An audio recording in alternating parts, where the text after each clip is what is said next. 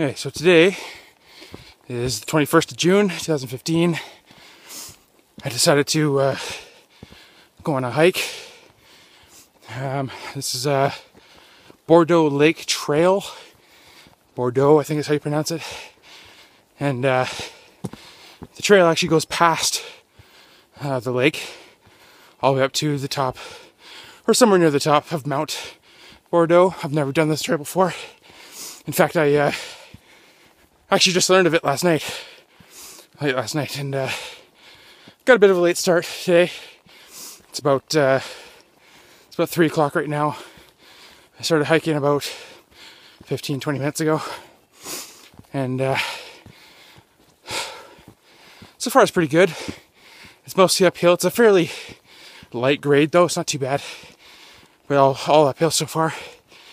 Um, clearly, I'm breathing hard. I uh, took a few minutes to stretch out and kind of get myself prepared, you know, physically and mentally before I stepped off. Um, it seems like it's a pretty popular trail. It's well maintained. The uh, at the bottom of the trailhead there, there was quite a few cars, probably about 20 cars or so. Trailhead's really easy to find, which is nice. There's been a few trails I've done where you're driving up and down, back and forth along the highways and back roads to find the trailhead, but this one was easy, which is nice. Okay. Um, I don't know if you can hear it or not, but there's a, uh, a lake, or not a lake, river, stream, whatever you want to call it, just down the bottom of the hill to my right as I'm in- inclining. So if I needed to find a source of water, there'd be some down there. I uh, brought plenty with me to start. I've got a three liter bladder in the pack. You can see the hose there. It's a, uh, I believe a CamelBak Omega reservoir. And uh, I've also got an Nalgene, uh, I think it's a 32 ounce, whatever, the regular size Nalgene. And that thing is full. So I'm hauling a bit of extra weight that I don't really need to be hauling right now, but part of the reason for this trip is to get into trail shape for this upcoming September when hopefully I'll be doing a long trip, probably a 10 day hike or so. Um, it's unconfirmed as of yet. I still got to figure out the trail path, get the uh, map, GPS coordinates, and all that sort of stuff for it. But that's the plan anyway. We'll see how it goes. But for today, Bourgeau Trail. I did bring enough food for a couple of days. And again, I don't know what this trail's like. If there's any, you know, camping spots or whatever. Um, if there is, the plan is to stay at least one night, maybe two, and then head back. We'll see how that goes. If there's nowhere to camp, then, uh, well, then I guess I'll come back today. Okay, that's it for now. I'll catch back up with you in in a little bit. All right. Well, I just ran into some day hikers coming down the trail, and uh, so they were telling me that near the top here, I don't know if they meant by the lake or at the top of the mount. Uh, I'm gonna imagine they meant the mountain, but the uh, the trail apparently has three bears lurking about somewhere. Um, now, they said they didn't see them, that they were just told that they're around. But I'll trust them. And there's a few things you can do to, uh, you know, protect yourself against bears. One that's just make noise. You know, you can buy a bear bang, bear bell, uh, shotgun, bear spray, all these different things that'll, you know, help deter or be offensive slash defensive against a bear. But in most cases, the bears just leave you alone. Um, unless you're looking for food or you get between them and their cub, something along those lines. This hike is, I think it's about 11 kilometers to the lake, and then I forget. I'll have to look it up again. Uh, how far from the lake to the top of the, of the mountain or the end of the trail, I'm not sure. So, on another note, weather's gorgeous. And this morning, when I left, it was absolutely pouring out.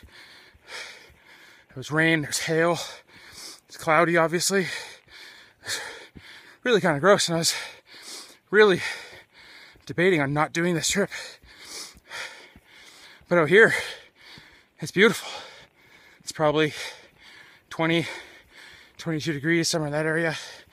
You know, very, very light breeze, mostly clear skies. What clouds there are, they're puffy and white, whatever that kind of color is called. Definitely not a rain cloud. Now, that's not to say it's not going to rain later or get ugly tonight, because I believe the forecast does call for that, but we'll see. Now, because of the inclement weather this morning, rain, hail, and all that, I did come with a few things of warmth. Like I brought rain jacket and pants, toque, puffy jacket, thinking that I might get kind of shitty out. Might have to hunker down when it's cold and wet out. So right now it looks like that may be unnecessary weight, but tonight may tell a different story.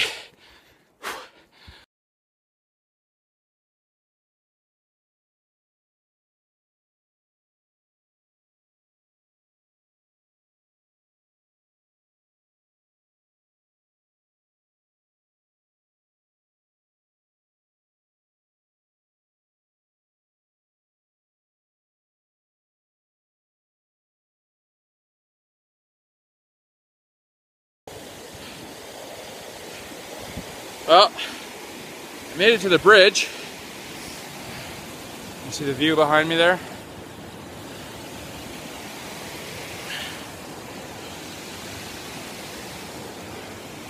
Now, time is 3.44, so it's been about, you know, 45 minutes to get here to the bridge.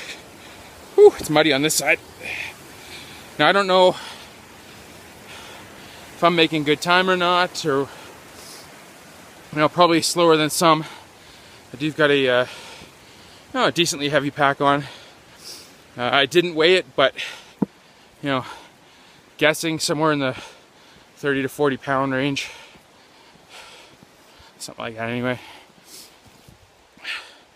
Now, I was crossing that bridge there, you can tell it's a fairly new bridge, and there's some uh, looks like some old pillars stabilizing stuff. Possibly an old bridge had been washed out. Uh, at uh, creek that we just crossed there. So it's all it looks like it's all runoff from the mountains. Normally I'd stop there and fill up my water, filter my water, and fill up my uh, my Nalgene bottle and my bladder, but uh, guessing I've only had about maybe a liter of water so far out of my bladder. So I've got two left there and then my Nalgene's still full. So I've got plenty of water.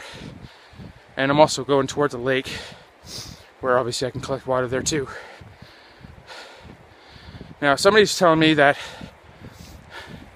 the entire trip from trailhead to trailfoot to the end is 11 kilometers, and that the uh, the lake is not the 11 kilometer mark. I don't know. I uh, I didn't really look it up to be honest. I just started walking. But I've got my GPS tracking this trip. I turned it on a little bit late, but it's tracking most of it. And I'll uh, give you all the details at the end. Elevation gain, the time it took me, etc., etc. Okay, just wanted to give you a little update and uh, just let you know how things are going. Like I said, this trail is really well maintained. There's some spots where it's pretty rocky, you know, but for the most part, you know, it's that kind, it's that kind of ground, you know, so you could easily do this in like a nice hiking shoe or something like that. I prefer boots. I like the uh, the ankle support. You never know when you're going to need it, and there's uh, there's weight considerations, of course, but there's good weight and there's bad weight. Right? Good weight being, you know, something that yeah may be heavy, but it's useful. Where like the like the boots over shoes, like having, you know, a knife that's got a full tang on it instead of just a folder in case you need to collect some firewood, you know, dig a small trench or whatnot.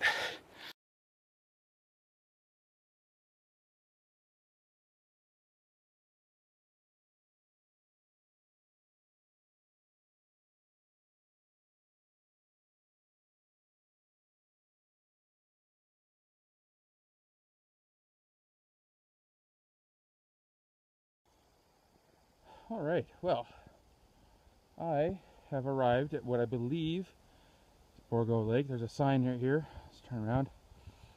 Right there. Uh, down that way, there's the lake. Just take a couple pictures down there. There's a sign. You can see that.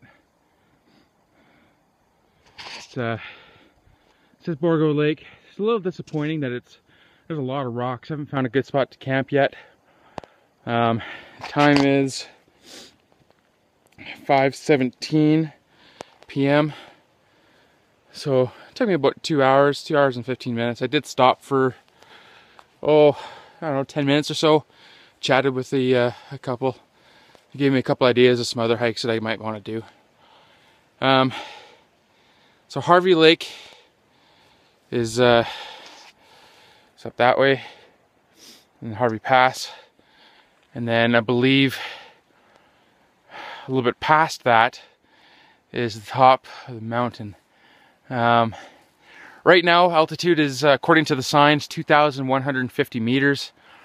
Uh, I'm not sure what I started at, but I'll uh, find out when I get back down to the bottom. I'm going to continue on, see if I can't find a spot to, to camp. Uh, if I can, I'll probably stick here for the night. Do a uh, bear bag because there's a couple of, there's a bear and a couple of cubs hanging out around the area. And if I cannot find a good spot, um, I'll decide in a little bit whether I'm going to continue on to. All right.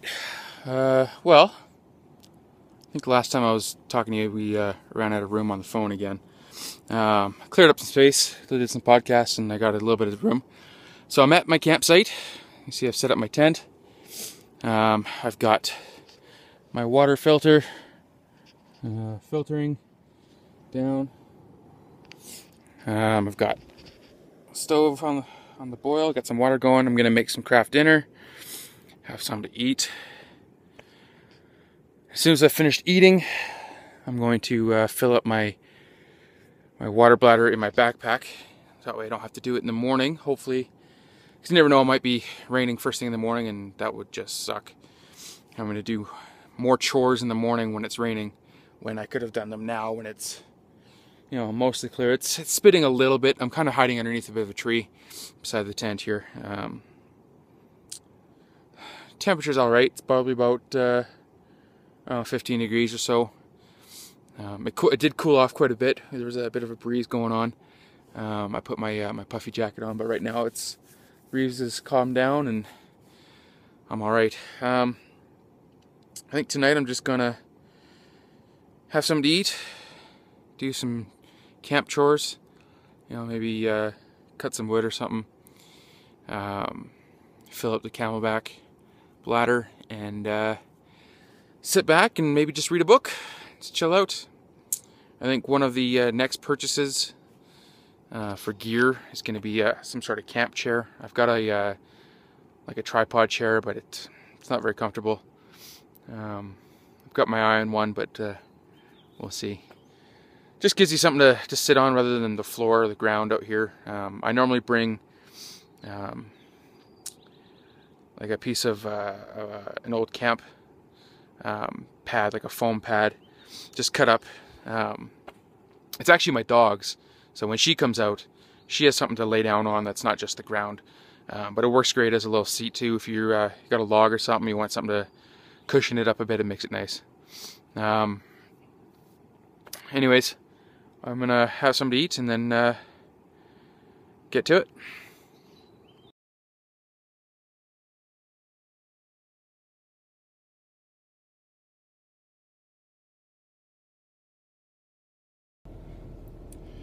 All right, so the time is right now 3:29, 3:30 in the morning. Um, I had to uh, to bug out. It's about 1:30 in the morning, and uh, those grizzly bears that uh, people kept warning me about decided to move into my campsite. Um, I had my uh, luckily I had my pack separate from my uh, my actual tent and, and where I was where I was camping out. Um, what I had done is I had stuck it in um, uh, in the middle of a bunch of like a growth of trees um, in an attempt to keep it away from any any potential bears. Seems to have worked. Um, the bears had actually uh, pushed a couple of the trees down uh, in an attempt to get to my bag, uh, get to my food. Um, I uh, woke up to the sound of uh, the trees falling um, sat there for a few moments, give the, the bears a chance to take off, and then uh, immediately packed up my shit and got out of there. Um, took me about uh, an hour and a half or so, an hour and 45 to get back here. Um, it's 98% downhill um, on the way back, obviously, 98% uphill on the way there. Um, my feet are uh, pretty beat up right now. They're uh, they're swollen. Um, I'll have to have a look at them when I get home. I'm not sure if they're they're torn up or if it's just blisters, but they uh, they hurt pretty good. Um, so I'm going to uh, head on home and uh, call this call this one in the books and uh, maybe try again later. Okay, bye.